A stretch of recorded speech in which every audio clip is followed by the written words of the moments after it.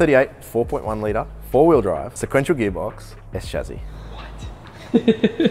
Let's let that soak in for a second. Hold on. What's up, guys? Javier from That Racing Channel. Welcome back to another feature on our Sydney, Australia tour. We got a couple R34 GTRs. They make somewhere around a thousand-ish wheel horsepower, but the reason we came and the special treat, we have a Pulsar GTIR. It makes north of a thousand wheel horsepower, all wheel horsepower on boost, and I heard it has another 200 shot of nitrous on top of that. All right, guys, let's get into it.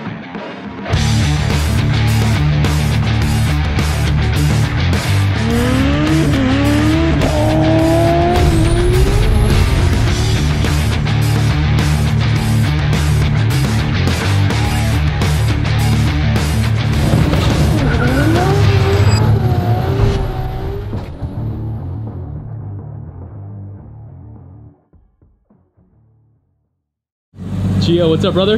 How's things? Thank you so much for having us out. Not a problem. So we're, we're here in Sydney, Australia, all the way from the US, and you opened your doors to us at the shop. Can't thank you enough. We got a, looks like a Bayside Blue R34 here. Yeah. Uh, what, what's the basic rundown? And I think, are, we gonna go for a spin in this one, or?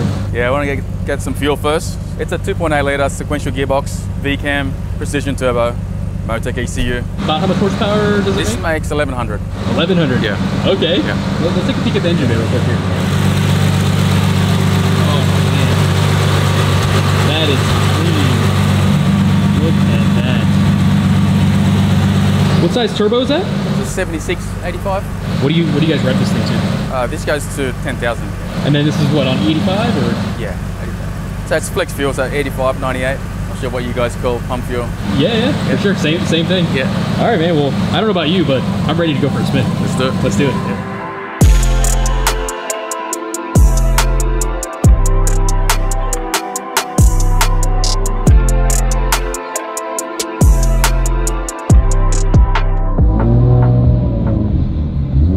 sounds nice. It's not. It's not too loud. Very, very street car. It's got a little uh, aggressive, aggressive Diff, yeah. diff in it. Yeah. Yeah. What, what diff is in it? It's a it's a Nismo. I can't remember exactly which one we're putting it. So it's, it's many years ago, but we A little bit more of an aggressive di- diff than stock. Yeah, we actually we actually pulled the um the active LSD out of it. Okay. which I sort of wish we didn't, but at the time we did. Uh, we built this car about 10 years ago now. Eight, ye- way. eight years ago? Really? Yeah. Kangaroos. What's up, buddies? Look at that, dude. They're like, guys, it's a 34. oh, that's so cool, man. So, true Australian experience.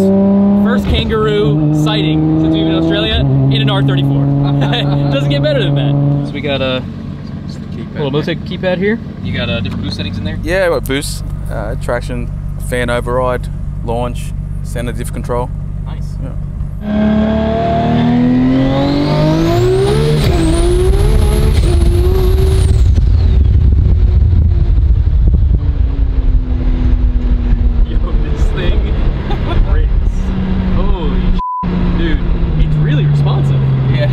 you said? Yeah, it's that's V Cam as well. Oh, that's why. and you said this is a 76.85. Yeah. Dang. I'm not gonna lie, I didn't think it'd be that responsive. It gets moving, and and this this same setup uh, has been running for quite a while. Like, yeah. doesn't hurt like hurt the blocks at this level or anything. At 1200, we'll hurt, we'll hurt the blocks. But 1000 is like pretty reliable. Yeah, I think that's a that's the um Good number. Yeah. Sweet spot. Yeah. Yeah. yeah. The car went um, on the street tires, as it is now. It went 9, 5, 156, I think it was, 158. But as it is now, Right. these these road tires. Wow, guys, that is that is just perfect. The 2.8 with VCAM is is honestly a really different experience than like the RB30 stuff. Yeah. It's hard to explain. It just feels real different. Sounds a little different for sure. Yeah, the thing was getting rowdy. the thing was getting rowdy. That's a good time. Thank you so much, brother.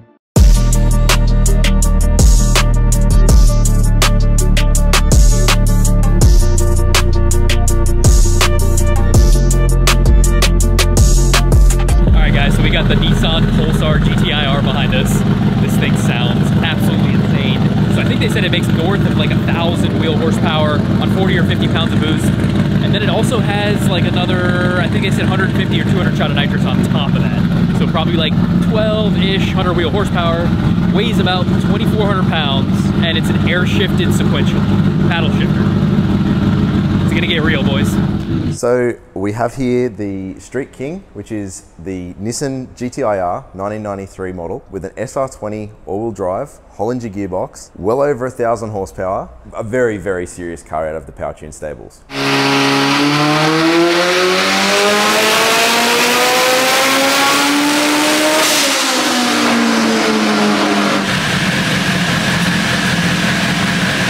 Bay, first of all, we have a billet block, billet SR, camshaft and engine package all built here in-house. We have a 72 millimeter precision turbocharger, twin wastegate, twin turbo smart wastegates. One thing that you will notice is the Holinger gearbox looks a little bit strange. You'll probably not find it available online anywhere, and that's because it's actually an Evo gearbox. So this is one of the really cool things with the with our kits that we have here.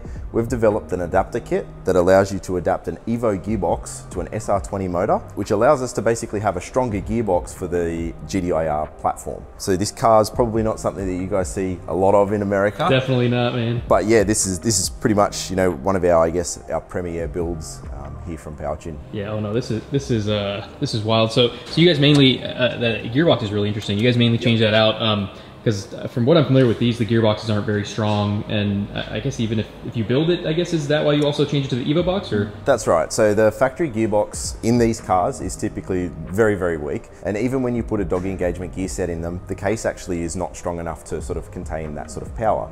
So that's why we actually have developed an adapter kit and used an Evo gearbox, which is obviously much, much, much stronger from factory. And then up from that, we've gone to a Holinger sequential as well. So that's wild. that's why we've gone down this path. Uh, and it's paddle shifted sequential and Paddle shifted as well. paddle shifted sequential, thousand horsepower and boost, and then I think right. 200 of gas or nitrous. Yeah, about 150, 200 of nitrous. So, you know, all in, we're looking at somewhere around about 1200 horsepower. Um, and it weighs. yeah, I'm not sure what it is in pounds, but I can tell you that it's got a power to weight ratio of about one to one. These are typically built, you know, they, they might make, you know, 250 kilowatts, 300 kilowatts, and, and that's pretty much the limit of them. We don't see a great deal of them sort of in Australia eh, on the streets and stuff. I mean, they are around, but certainly not like the GTRs and other cars. We're lucky enough here at PowerTune to have two very high powered ones, both with Holinger sequentials in them. This one being the, the most powerful one. So there's another one of these floating around. Yeah. You guys have all the fun. So on the interior, um, it's pretty much all business. So we've got carbon fiber dash, Motec C1212 display, keypad for the control. You mind if I sit in it? Yeah, go for it, go for it. So quick POV here to what you see when it's probably absolute light speed madness here. when you get on the gas with this thing, but basically got paddle shifters here. Awesome Motec dash. You got your can keypad there. Yep. Man, this is sweet. And you got your uh, grocery getter. You just throw the groceries back there. Exactly right. So I can show you in the boot if you like. I mean, the, the boot space is pretty good for groceries. so in the back, obviously parachute mount and things like that that aren't on it. Again, all business in the boot. Nitrous, a lithium battery mounted in here and here as well. Effectively, this car is all about going fast. so there's there's no you know fancy creature comforts like heated seats and all that sort of thing, but it's it's built to go fast. Uh, do you guys typically like do digs or roll racing with this, or So this car at the moment is kind of set up for roll racing. That's kind of, I guess, the premier event at the moment in Sydney. Um, that being said, it's absolutely the sort of car that we will be taking to the drag strip. At the moment, though, roll racing is the focus. Has it been down the drag strip or anything? Or Yeah, absolutely. So it's been down the drag strip a number of times.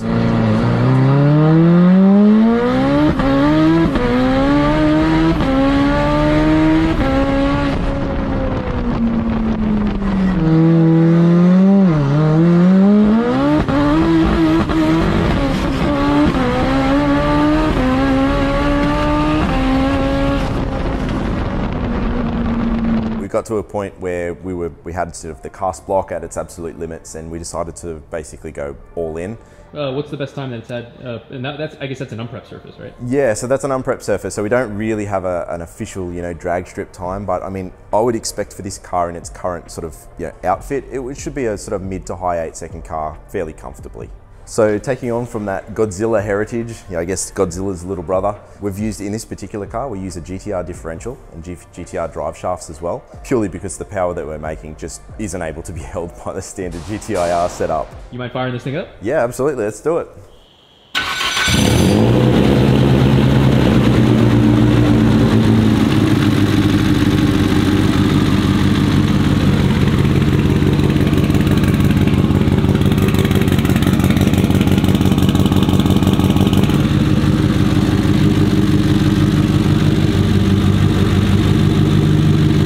Guys, this thing is absolutely insane. I think we're about to take this thing for a spin. Let's get into it.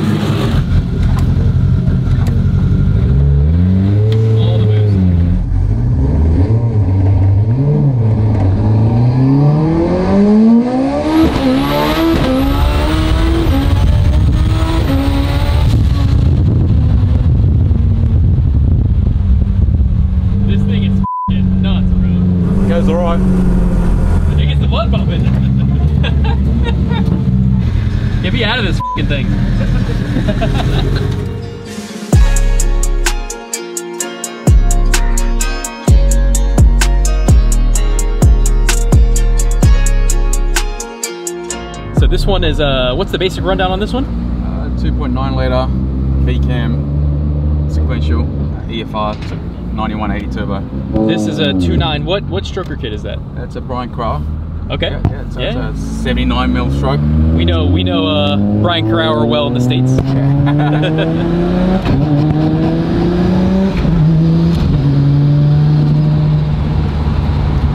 So this has got, yeah, it sits up 35 brakes on it as well.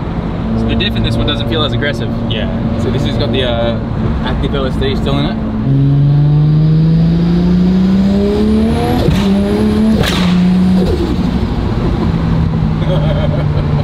Oh, the sounds, dude.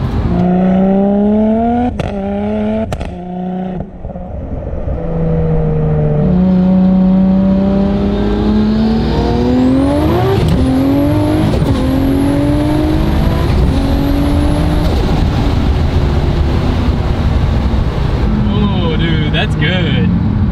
That's really good. this one just, it's like really rowdy off the hit. Yeah. It's it's like super torquey. I mean, you hit it, and you were just kind of, you know, having to steer it just right off the gate. Yeah. You know, Where the other one, it took a little bit more time for the boost to come in, but then it also got rowdy. You know, different power band on this one. Yeah. Give it another one here. Yeah.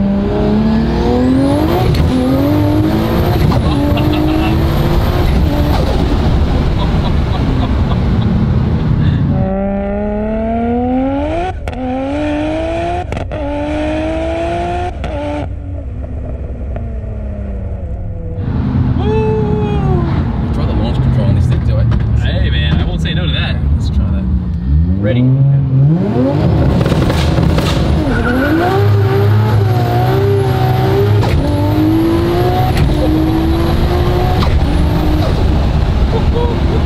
Oh, that's it. Yep. That's the spot. oh, my phone, phone flew out of my pocket. oh, man.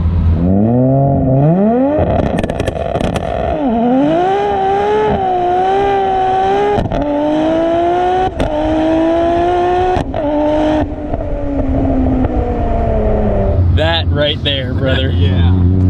That is what every Nissan enthusiast, RB lover needs in their life, right there. Oh man, that launch is something else. Dude, thank you so much. Hell yeah.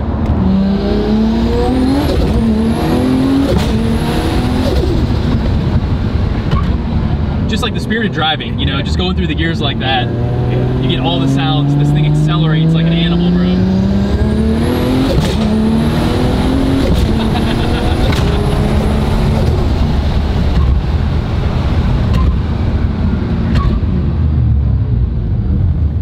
Oh, this is a good time. Nothing but smiles here, boys. This is a, a wild ride, brother. That's good, isn't it? It definitely works. Nice and smooth. It No- just works. nothing but smiles for the Yeah, rest of the day for me. you didn't even two-step it though, did you, Chia? We, Oh, did you two-step we it? did a lot. Oh, Fantastic. Good. I look, This I look thing is wild. good. it is wild, bro. Excellent. Thank you, man. No, no, Appreciate good it.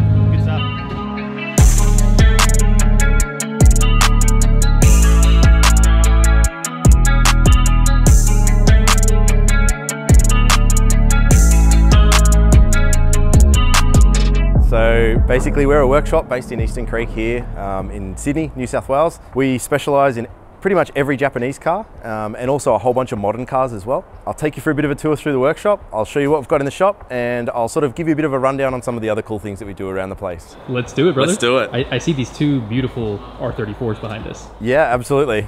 so, of course, everybody you know wants to see the GTRs, of course. So we have re- two really, really nice examples behind me. Um, I'll give you a bit of a rundown on them.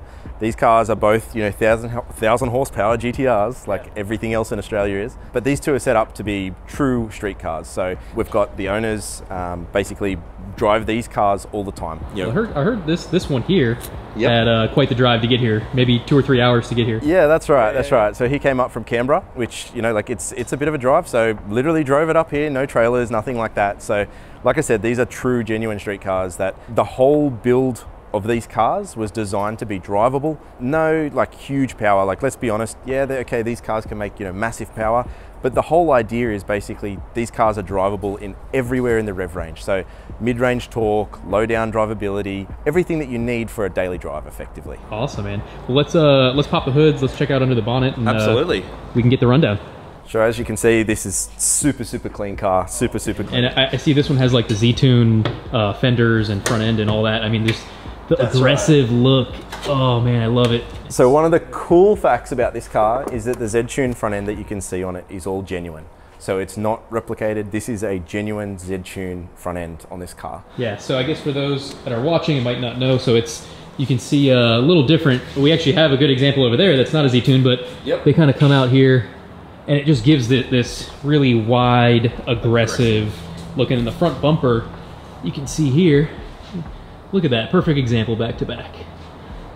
What do we got here? All right, so this is a bit of a PowerTune specialty. Um, for those that have that know about PowerTune, you may know about the 2.8 liter builds that we've been doing for a number of years now. Some of the guys have been talking recently about the Elephant package, 2.8 liter, 1000 horsepower setup. This is pretty much one of those setups. So it runs a Tomei 2.8 liter um, bottom end. We run a HKS VCAM. So again, that's that's coming back to that drivability point where we can actually move the camshaft and bring the car on earlier, get that extra drivability. We've got a 9174 EFR um, on this particular car. Drive by wire, we've got a mechanical fuel pump setup, 12 injectors on it, and a sequential gearbox. Whilst there's a couple of things in there you might go, oh wow, that's like, you know, that's massive, that's big power stuff or whatever it may be. We've actually refined it, this particular package, to be like a, a true 1000 horsepower street car that you can just jump in and drive. A lot of the the Aussie builds, you know, quote unquote Aussie builds that we see, Yep. aren't doing like Tomei stuff. So that's kind of like holding true to like you know the the JDM the, roots? the JDM roots. Yeah, yeah, yeah, know, and it's- absolutely. It's, uh, but but you have a little bit of the spicy stuff with like the sequential in there, and you know mechanical mechanical fuel pump is not something you see often there. So it's it's a really uh really cool uh, interesting setup. You know. Yeah, absolutely. So, like like you mentioned, the mechanical fuel pump. Now, that's a preference of ours here at PowerTune. So, when once you start to make a thousand horsepower, you need you know two or three pumps, and it's quite a load on the alternator. And if you have one pump fail, it's not necessarily going to be a good time for you. So basically, we've moved them all to this mechanical fuel pump setup. So this mechanical fuel pump setup is something that we built in house, and I'm going to take you next door in, in a little bit, and I'll show you where that all gets made. Um, so this is this gets made in house. Uh, we modify the shroud to go around it, um, and basically that allows us to run a small injector as well. We can run a higher fuel pressure, which means that basically we can have that low down drivability of say an 800cc injector or smaller, but still have enough fuel up top with the second set of injectors to to make a thousand horsepower and not be under fueled. Like I said, it makes about a thousand horsepower, but it makes it very early. It makes positive pressure at around two and a half thousand RPM. You know, it's it's actually starts to make boost there. Doesn't make huge amounts, but the drivability of this car is next level, and I'm sure you're going to get to experience that yourself. But that's this this is I guess the the specialty of us of, of our GTRs here. We don't do a lot of you know huge power ones, but this is what we, we really focus on. So the second one, um, again, 34 GTR. Um, this one's a little bit more serious. This color looks so good. I mean, it's it's it's special. Every, everyone It's the loves hero it. Everyone color, loves isn't it? Yeah, It's the hero loves it. color. Oh, that's a big boy right there. So yeah, this is a little This is bit the, bigger. the big power stuff, huh? Yeah, so again, same type of setup, 2.8 litre HKS VCAM, drive-by-wire, mechanical fuel pump setup. This one's actually got a 7675 precision on it. It makes more power than, than the one next to us here. sure. That's a spicy turbo. Bit, bit more spicy, yeah, that's right. Now, obviously with the GTR, we can, you know, you can go crazy with the turbo sizes on these things. But again, this is literally driven to work and home by the owner. Like in his 40s, drives this thing to work, enjoys the heck out of it. And that's what we love sort of building here at I love it. That is awesome. For the most part, you got some Recaros in here, and then you said this was a OS Giken. Uh, That's right, yeah. So it's an OS88 sequential gearbox. Both of the cars run those gearboxes. This one's just got some Recaros in it, slightly different, slightly different seats. The steering wheel as well, um, and a Nismo dash. Nothing too crazy. Does have the Motec C127 in the factory MFD location, so that's kind of, like, I guess, a neat little feature. Overall, the interior's kept very clean stock. Oh, yeah. It's that's kind of what we're going for there. We don't want to, we don't want to wreck, you know, the the underlying of the car. The other thing that you'll find too is that a lot of our engine bays, there's no cutting. So we avoid cutting any of that factory car. Yeah. You know, we, we don't like the idea of cutting up a really nice car and wrecking it by cutting a hole to run an intercooler pipe through it. Make the intercooler pipe go around it. Oh yeah. That's I mean, these are these aren't forty, fifty thousand dollar cars anymore. not anymore, no. Add a couple of zeros. Yep, yep, yep. Oh man, this is uh such a beautiful, beautiful build, man. Both of these cars are incredibly clean. So on top of everything else, we also manufacture our own parts, or we have them done by a company called Fast Talk Performance Engineering, based right next door to us. So that's where we are right now, standing inside here. What do we got here? What is that? Hey Ryan, is is this the RB26 billet cylinder head that no one's supposed to know about, and that I'm not supposed to know about, but I do, and no one else does, or what? Yeah, about that. This looks like it's been used. this is a billet RB26 head that's been on a car, it's been on a dyno, it's been tested, and work is underway to you know complete this this head from our wonderful neighbour and friend, Fast Talk Performance Engineering, and this is Pete. Yeah, it's still work in progress, right, Pete? Yeah, we didn't want it um, out in the public yet until we've proved it and tested it. We've done what, what did we say about 20 dyno runs on it. Um, It's been street driven, all sorts of things, all around about a thousand horsepower. It's going to be remade with a few little adjustments to it. When we put it on, we found a whole bunch of things that could be fixed and improved on and all that sort of stuff. So On, on top of that, what is different about this particular one is that nothing was scanned. There was no 3D scanning involved whatsoever. Pete has effectively drawn this from measurements from the ground Yeah, up. Yeah, we took a stock cylinder head, put it up on the machine and probed all the points, created all the surfaces, all the solids, all the geometry. Set about overcoming all the major obstacles that there are building a freaking cylinder head. I'll tell you what, it's not easy. For sure. If it was easy, it would have been done 10 times already, right? Yeah, absolutely. Um, Many, like, many have talked about it. I many. believe a lot have tried and just given up because uh, obviously it's a huge time consuming project and it costs a lot of dollars. Yeah, I've seen a, a couple, I think two J ones floating around here and there, but that was many years ago, and I haven't heard about them since. Either they're too expensive to produce or they're, yeah, no, they didn't work. I don't know. I'm going with the latter. I'm going with it didn't work because uh, there's guys with enough money that they don't care. So uh, check it out. There's you know exhaust ports have been used.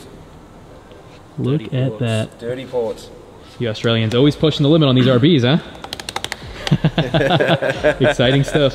There's a bunch of other parts that we do as well, like a gear position sensor for an OS88 gearbox, throttle deletes for a factory RB26 manifold, a mechanical fuel pump setup for the RB, and also a paddle shift setup that we do, a pneumatic shifter setup for a GTR that allows us to convert gearboxes such as OS, PPG, anything like that, we can adapt those and make them effectively a paddle shifted gearbox. Um, so all of that's done right here, right next door to us um, with our friends at FTPE. So this is one that you probably haven't seen. Oh, we don't we don't get these in America. You don't get them, I'm do super you? jealous because they're cool. They're cool. They're cool cars. This is a GR Yaris, so this is you know what you've probably seen all around the internet, and has the same engine as the GR Corolla, which you guys are going to be getting if you haven't already. This particular one is fitted with an X-Shift sequential transmission, so we've pulled that out so you can have a quick look over that. Here's the magical three-cylinder 1.6 liter engine. Yeah, look at that. Pulled it out so we can just get a full inspection here. That's exactly right. So these these motors are, are built ridiculously tough. Like I'm talking like you, you know what your JZs are like, you know, your 2J type setups. This is like a three cylinder 2J. No um, way, You know, the rods are huge in it, the, the gudgeon pins are huge in it. Everything's massive and over engineered.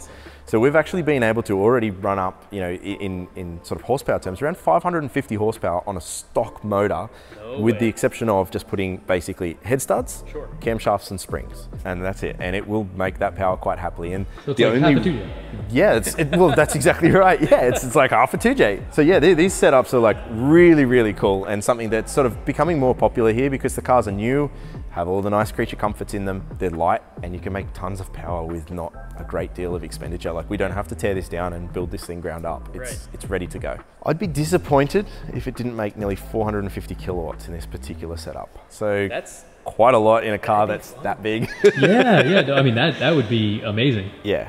So we're, this this one should make some pretty serious power, and it's going to be a, a hell of a fun car to drive. Awesome. Um, Well, especially with the sequential wait gearbox. that. Man, this is a cool little engine. And so to think that like we're talking 1.6 liter three cylinder, I'm pretty sure you could buy get a shoebox that's longer than this. right. Next one, we have a VF Commodore Ute. So this is uh, Australia right here. Yeah, this- essence, this the is- essence of Australia. This is Straya. Straya, yeah, that's right. so effectively, this would be a V8 supercharged cab Yeah. in Australia. So how much power does this one make? Is that a so that's a Pro Charger? That's Pro Charger, yep. So that's an F1A 94mm Pro Charger. We got a 7 litre motor, all the, the supporting bits and pieces on this one. And you know, we're expecting somewhere around maybe 12, 1300 They horsepower. say this thing's got to make some jam, big It's- cubes, and that's a that's a big Pro Charger. You know. Yeah. What, what, Um, we fixed it. oh, that's good. No, so this one, uh, it's a bit of a shop project, go- been going on for a little bit. Um, basically, we've put a K motor into the RX-8. It's a dedicated track car. It's, it's not a street car or anything like that. It's, it's something that we've just sort of been plodding along in between other bits and pieces. But let's face it, we've got customer cars to work on, so it's been a been a long drawn out So one. this is a one. shop car. Yeah, yeah, absolutely. So this is this is just a labour of love in a way of you know. At the moment, it's a it's a stock K24 um, with a K20 on head, average size Garrett turbo. It's it's a setup for a track car. It's not going to make any crazy power. I think we'll be happy realistically if it makes let's say 500 horsepower. I mean, for a track car, that's still It's still plenty. It's still plenty, and and that will be wicked, like or, or you know turned right up, I guess. Just come through to our engine room. Um, as you can see, there's plenty of billet floating around. Seems to kind of be the thing that's this sort of everybody wants to do these days. But we build a lot of our engines in house. We outsource the machining because let's face it, we don't have the space to have all those tools. But all of the assembly and everything else is done here. So we get you know the tunnel boring and other bits and pieces done externally. We do, like I said, uh, Evo 4G, RB, pretty much everything that you've seen that we've walked past today.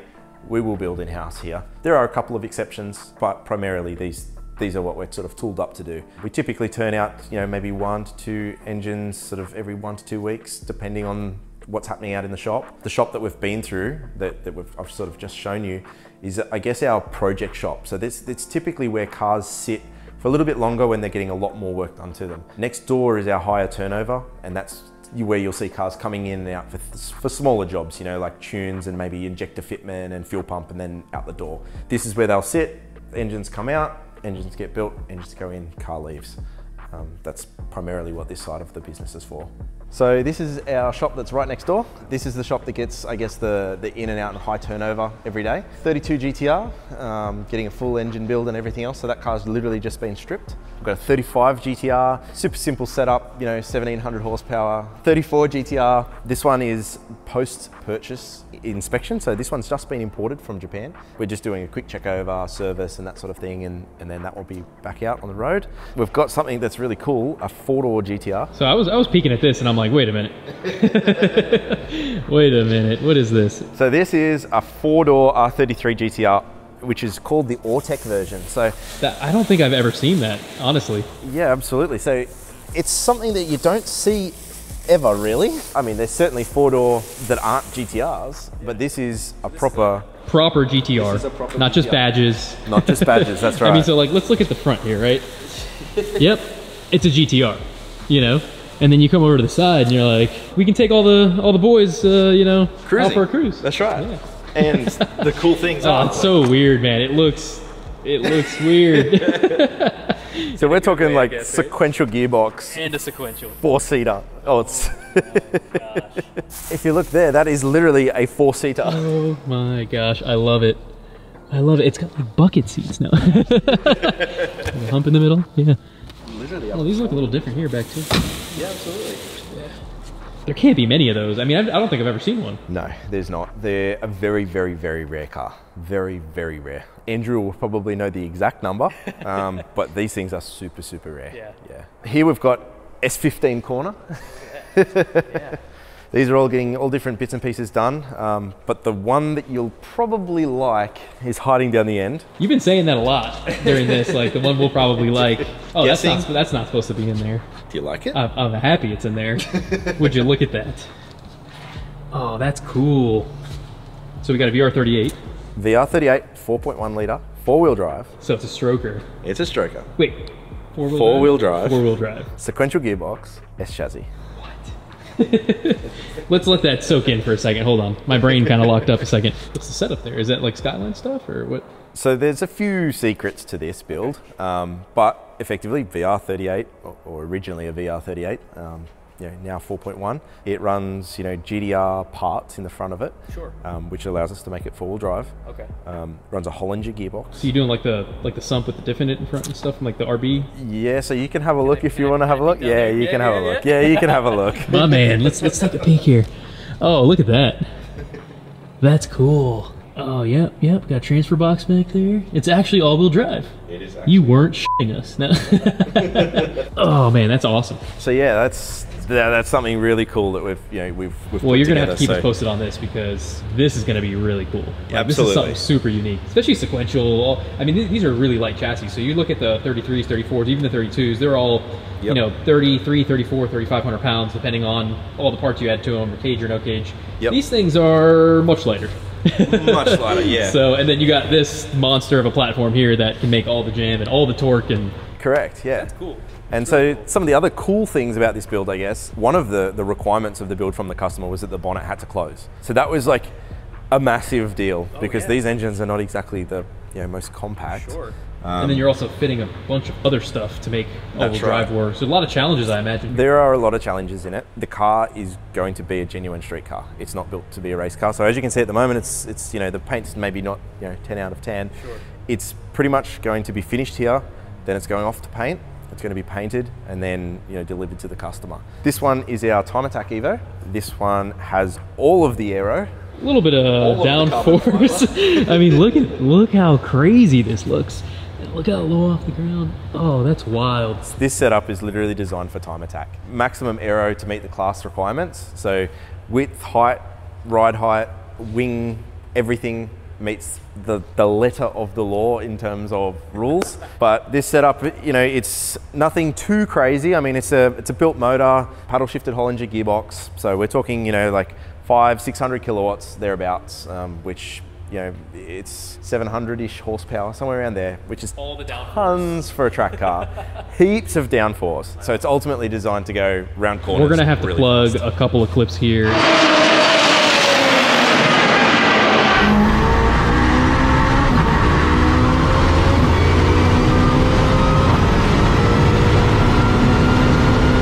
One of the other really cool cars that we've got here uh, is Jake Jones, the Drift Squids RBM3. Look at that. See, normally uh, in the states, everyone does a 2J. I, I, I absolutely approve of this. this is awesome. So this thing screams to 10,500 RPM.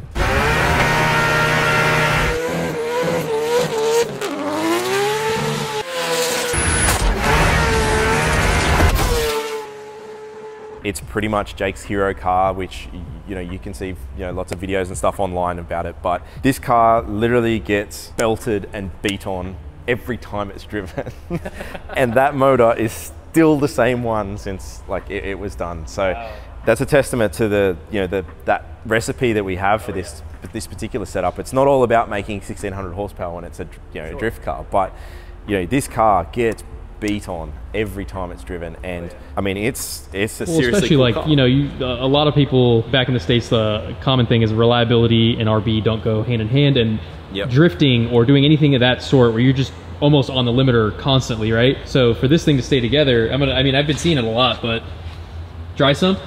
I've noticed a very common thing Yeah. for these things to stay alive. So that I mean that's that's cool. I mean I think you showed me a clip earlier. If this was the car, I'm not sure, but Yep. uh, of, of it just thrashing. Absolutely. So to put an RB through that, I mean that's a testament. it's abuse. Let's face it, it's abuse. It's Doesn't matter what power. Yeah, that's right. On the limiter or very close to for pretty much all of its life. I mean, it doesn't get driven on the road or anywhere other than drifting. And as you know, a drifting event is flat out all the time. so that's that's, this setup. Yeah, Oh, this thing is just full send. yeah, 100% send. Love it, man. Dude, this is great. This is great. You guys do it all. We've got that's what I mean. Like when I say variety, I really mean variety. Like it's not just Japanese, you know, JDM stuff where it's like you know, oh, it's 15 GTR. We You we take on everything. Going fast, right? That's exactly right. Whether it be drift, drag, you know, circuit car, rally car, hell, I'll tune your boat. We'll do your jet ski. We'll do we'll do whatever you like. That's awesome, brother. Well, Yeah. thank you so much for showing me around. Not on our tour, and probably one of the more intricate uh, parts of our job is our wiring room. Now, this is a room that we've built specially for wiring, and we specialize in everything from the small jobs where we're just wiring in sensors to full car tail light to headlight wiring harnesses. One of the really neat features um, or things that we've been working on lately are our adapter boxes for ECUs. So this is a GTR adapter box. As you can see, we have basically a, a PCB inside. This plugs into your factory wiring and allows us to put any aftermarket ECU into one of those cars. So you can plug in a Motec, an Emtron, a Haltech, a Link, whatever you like. It just makes it fully plug and play. So that saves you know everybody doing wiring and stuff. You don't have to do it. We've done it for you with one of these. That's one thing that we're really trying to del- deliver for a lot of cars. Another thing that we do is we actually do adapter harnesses. So this is these are some that are in the, the build at the moment. They basically go from the factory connector. This would normally be inside of an ECU.